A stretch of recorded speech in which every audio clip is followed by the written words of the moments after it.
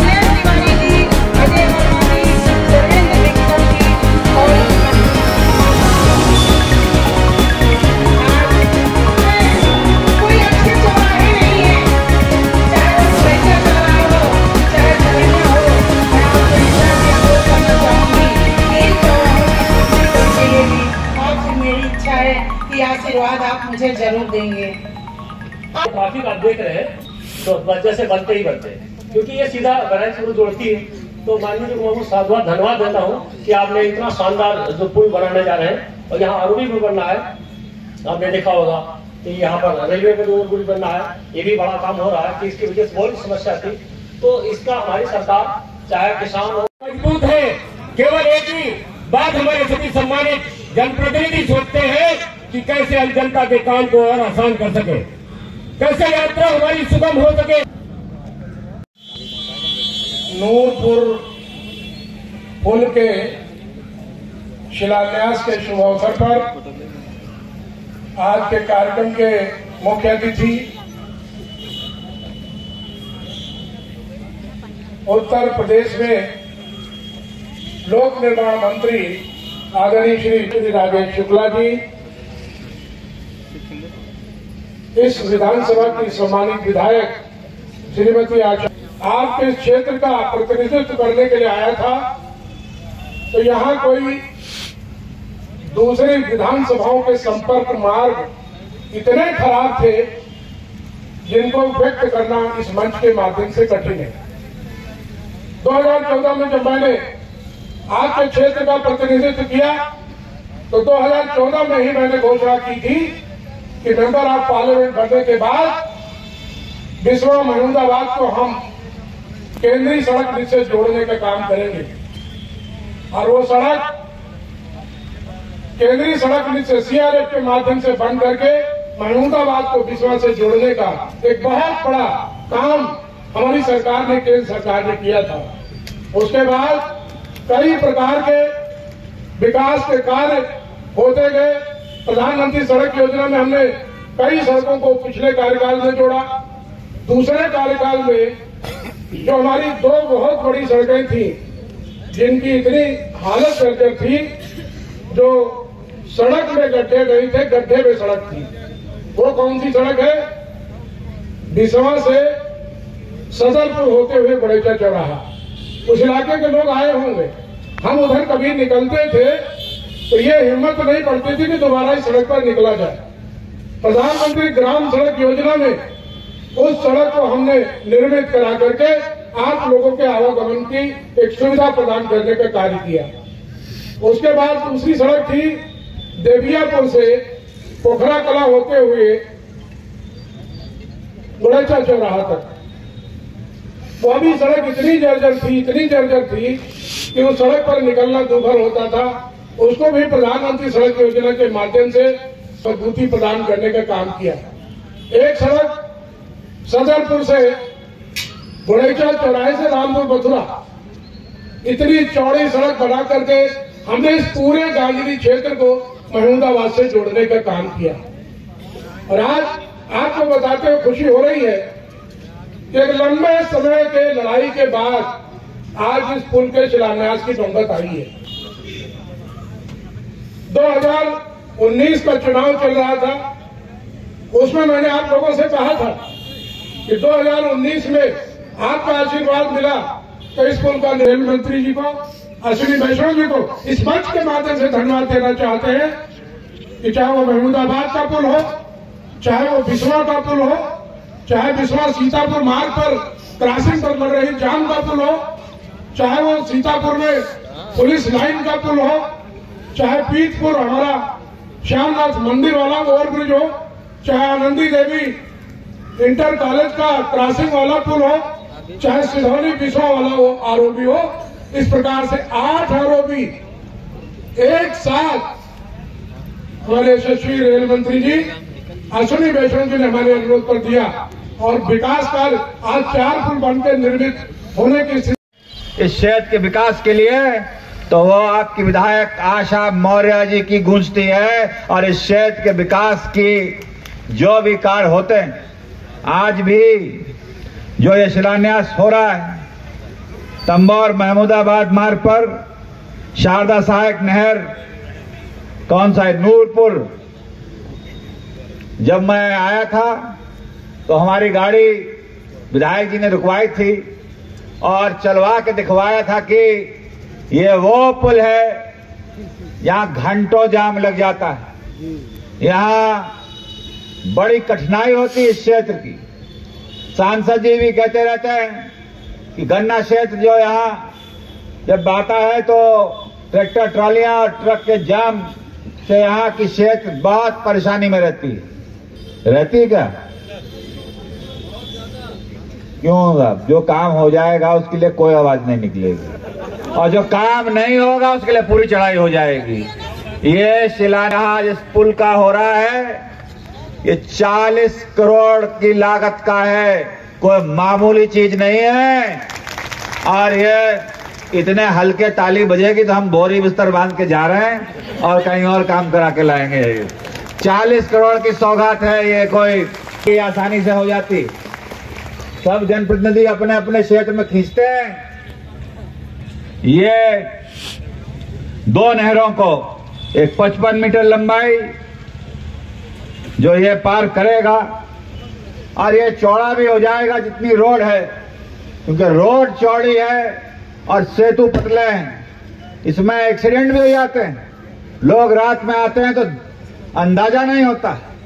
स्थानीय लोगों को तो पता है कि पुल संकीर्ण है, रोड चौड़ी। तो जो इतने वर्षों से नहीं हुआ है पिछली सरकारों में, वो मैं आज कह रहा हूँ कि ये अब होगा मोदी और योगी युग में ऐसे ऐसे विकास के कार्य कराए जाएँगे जो कभी नहीं हुए होंगे।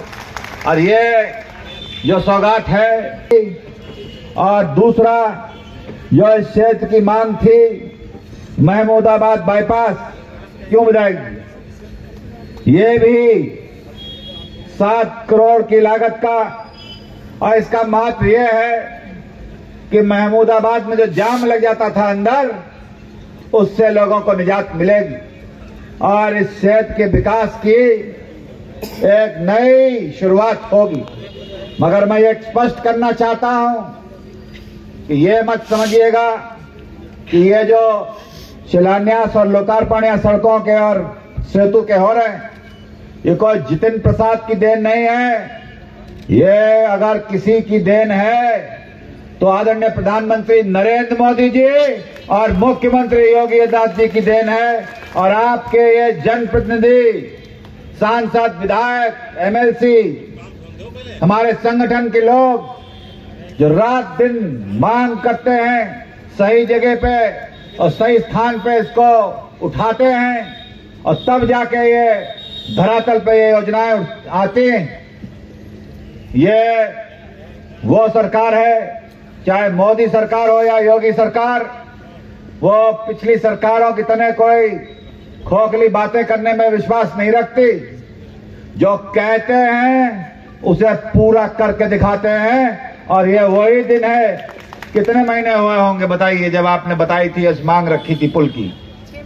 छह महीने पहले विधायक जी ने कहा था कि क्षेत्र की मांग है, और छह महीने के अंदर इसका शिलान्यास भी हो रहा है और धन भी अब मुक्त हो गया हो। गया कि नहीं हुआ, बताओ भाई।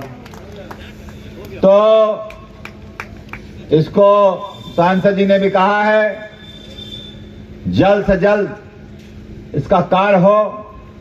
जरा आइए जरा, श्रीवास्तव जी बताइए जरा। जनता को बताइए, ये कब शुरू होगा इसका काम? इसकी लिखा पढ़ी पूरी हो गई कि नहीं हुई? और कब पूरा करके जनता को देंगे जरा बताएँ। इसकी पूरी रूपरेखा हम लोगों ने बना ली है। टीएस भी हो गई है ड्राइंग दो नहीं टीएस वगैरह जनता को समझ में नहीं आता अब हमें सीधे सीधे बताओ काम कब चालू होगा। इसी महीने के लास्ट अरे ज़ोर से ताली बजा तब जाके बनेगा। जनवरी में ही कार्य प्रारंभ करा दिया जाएगा। 18 महीने का टारगेट है लेकिन इसको 12 महीने में पूर्ण करके दिखाया जाएगा। जनवरी में चालू होगा और झूठ मत बोल देना हमारी बात पे हल्की रह जाएगी एक साल में बनेगा पुल। अरे एक साल में नहीं अभी सांसद जी की ट्रेन आ रही है छह महीने के अंदर। कैसे होगा ये बताओ जरा मुझे। कुछ समय चाहिए सर। चलिए। लोहे का स्ट्रक्चर है। जल्दी से जल्दी ये पुल बना के तैयार कराइए और इस क्षेत्र की जो समस्या है उसको दूर करिए। ये जो बाईपास है कौन बताएगा इसके बारे में? जाओ जल्दी आओ जी। बताइए। 2024 अभी क्या स्थिति है? और आपके निर्देशों के क्रम में ये मार्च 2024 में हम पूरा कर लेंगे। अभी एक लेयर का काम हो गया है। मेन जो हमारे यहाँ इसमें प्रॉब्लम हो रही थी मिट्टी के काम की कुछ लैंड लैंड की प्रॉब्लम थी वो सारी सॉर्ट आउट होके मिट्टी का काम पूरा हो गया है और एक लेयर हो गई है इसको हम मार्च में पूरा कर लेंगे। अरे फरवरी में आचार संहिता लग जाएगी फीता कब कटेगा इसका?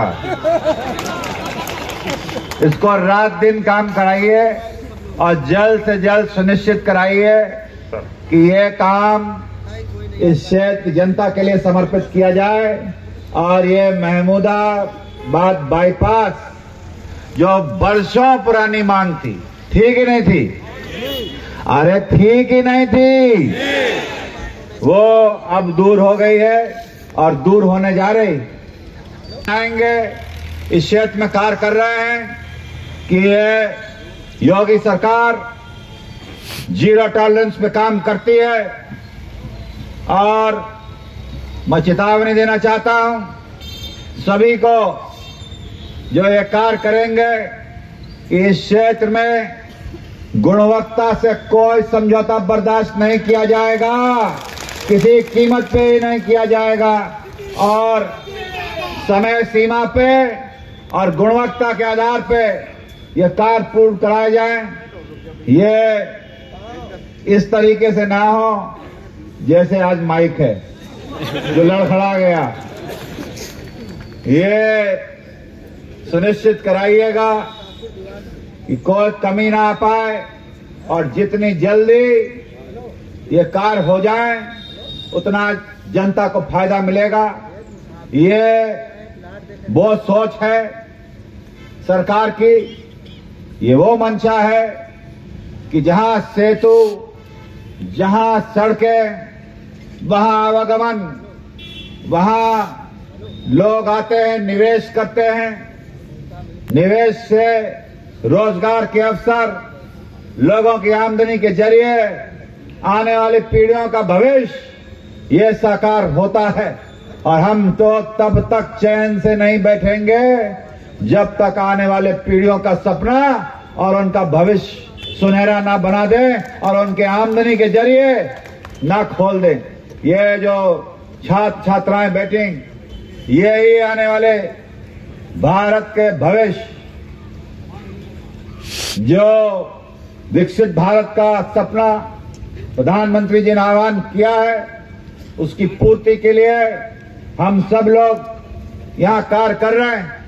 रात दिन एक चाहे केंद्र की सरकार हो, चाहे प्रदेश की, जो डबल इंजन चल रहा है जनता की सेवा में, वैसे डबल इंजन तो यहाँ भी चल रहा है, सांसद जी का और विधायक जी का।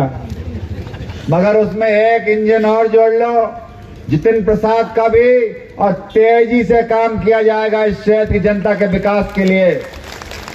मैं ये कह सकता हूँ, क्योंकि सांसद जी ने भी मांगे रखी हैं, और ये कौन सा? डाक बंगला, पीडब्ल्यूडी। और सड़कों के लिए मैं विभाग के अधिकारियों से कहूँगा, इसका आग्रह तैयार करवाएँ, और जो सांसद जी ने रखी है मांग, उनको पूरा करने की दिशा में जो भी लिखा पड़ी कार्य की कार्रवाई है, वो पूरी कराई जाए।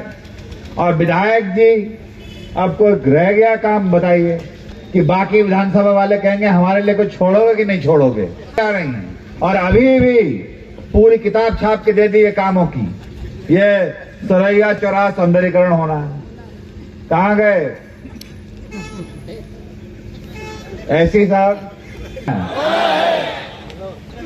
तो मैं इतना ही कहना चाहता हूँ कि जब आपको अवसर मिलेगा तो तो काम करके दिखाएँगे, तब आपके बीच में लाएँगे। मैं ये कह सकता हूँ, और आज यहाँ मन से कह रहा हूँ इस क्षेत्र के लिए धन की कोई कमी नहीं आएगी। बड़ी सी बड़ी परियोजनाएँ, जो भी क्योंकि यहाँ सांसद जी निरंतर प्रयासरत रहते हैं। दिल्ली में मैंने देखा है और यहाँ पर भी देखा है।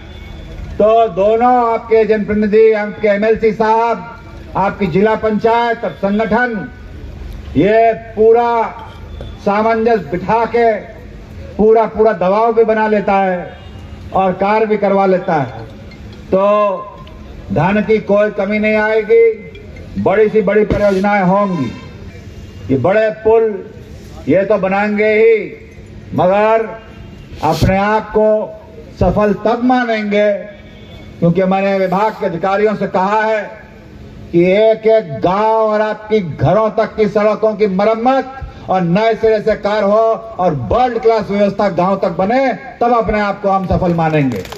तो अगर मैं बताना चाहता हूँ, ये पत्थर नहीं ये हमारी साख है।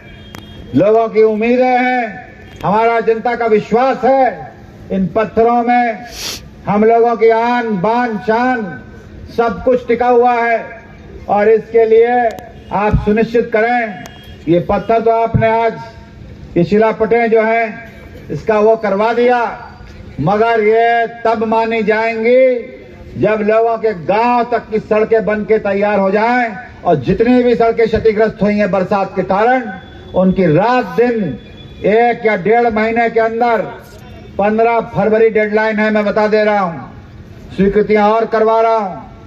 सब सड़कें गाँव तक की व्यवस्था बनाई जाएगी और आप लोगों को लगेगा कि ये मोदी योगी युग में जो कभी नहीं हुआ अब होगा और आपकी व्यवस्थाएँ सड़कें और सेतु की बनेंगी।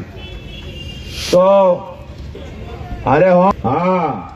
क्योंकि इस लोकसभा के चुनाव में अभी आप देखेंगे, जैसे ही जनवरी फरवरी आएगा, पता नहीं कहाँ कहाँ से लोग यहाँ घूमने लगेंगे घर घर जो कभी दिखाई नहीं दिए, वो आएँगे, भ्रांतियाँ फैलाएँगे, लोगों को भड़काएँगे, भावनाओं से खेलेंगे।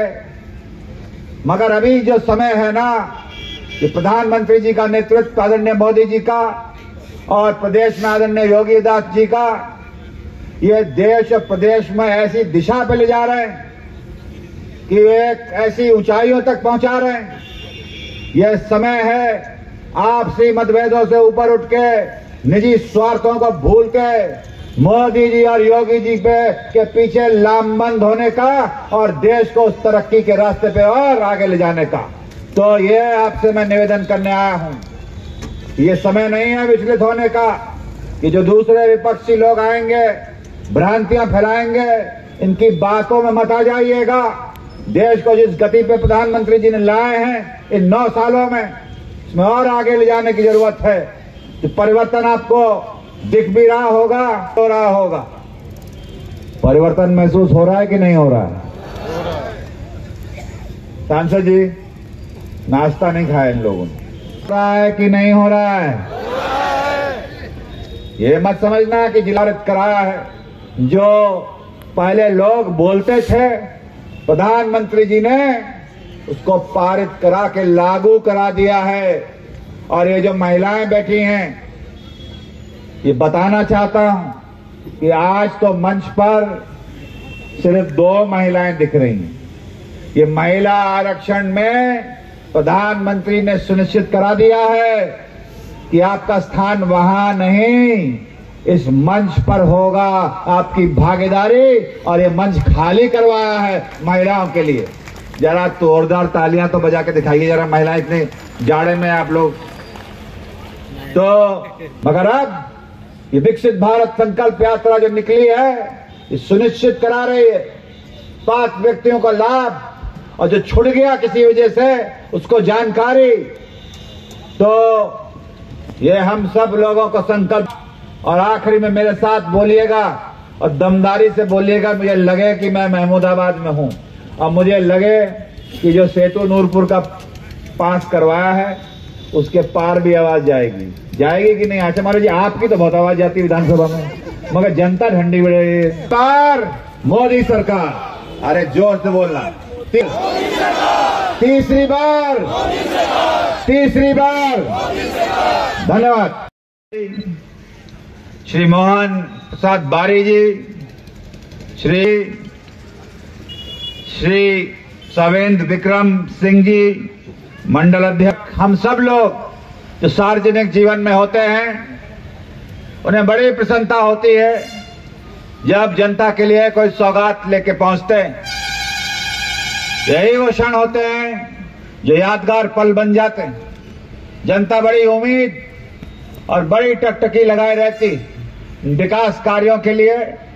और हम लोग जो सार्वजनिक जीवन में हैं, जब स्थान पर पहुँचते हैं और जनता को कुछ ऐसी सौगात ला के देते हैं तो बहुत ही मुझे याद है वो दिन।